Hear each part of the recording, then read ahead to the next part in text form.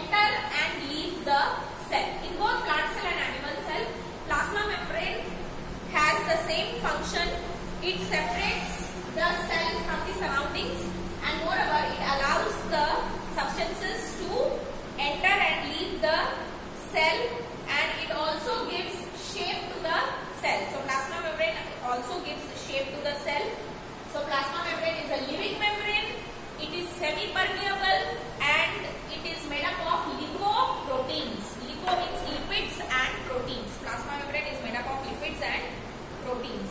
Then, next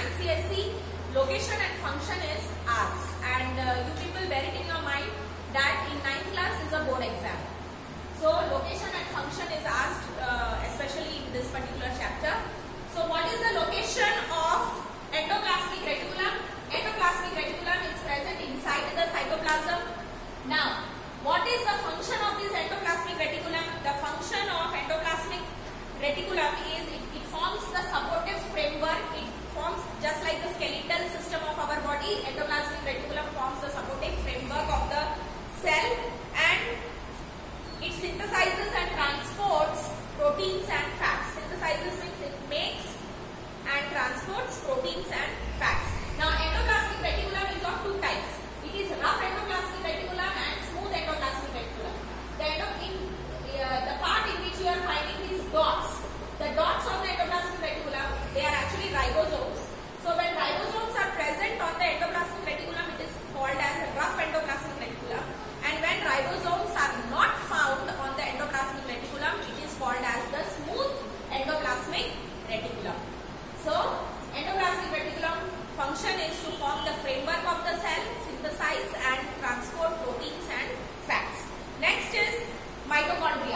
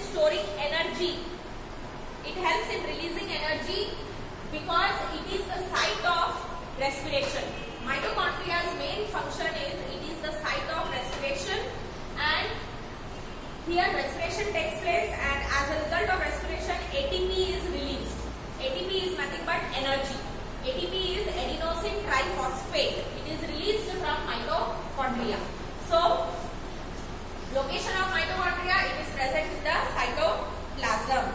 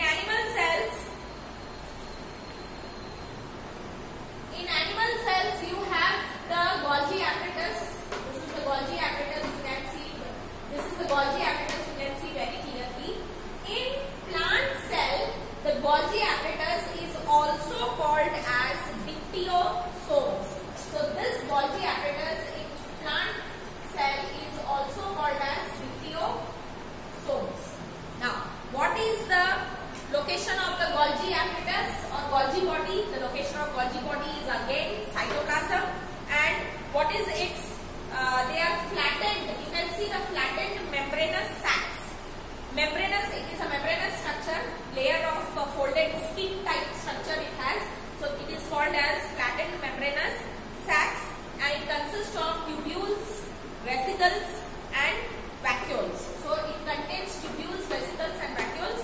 And what is the function of Golgi body is synthesis and secretion of enzymes and hormones. Like in our body also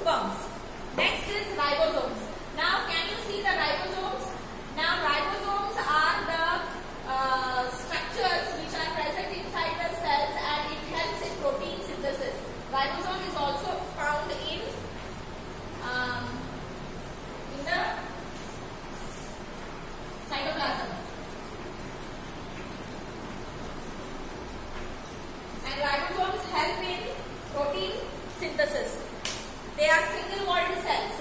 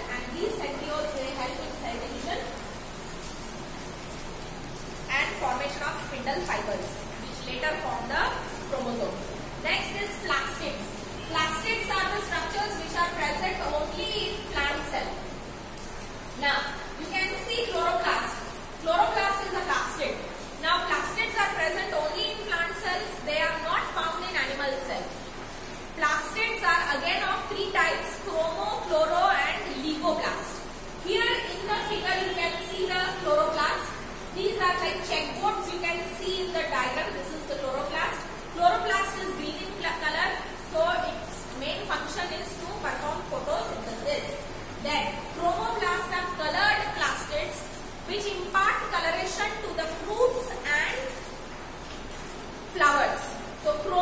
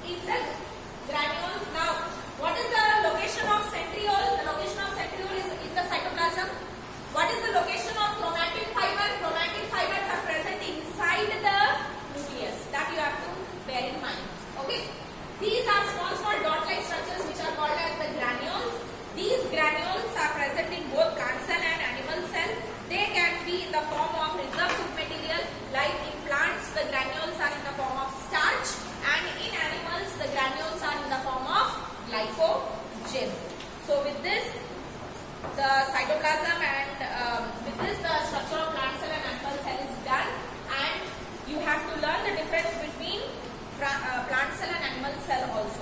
Now, one more thing which I have to explain you is about prokaryotic cell and eukaryotic cell. The cells are again of two types apart from plant cell and animal cell. Prokaryotes and eukaryotes.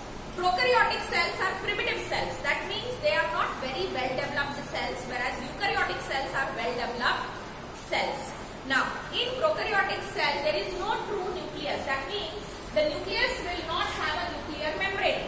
Whereas in eukaryotic cell, the nucleus will have a nuclear membrane. Okay.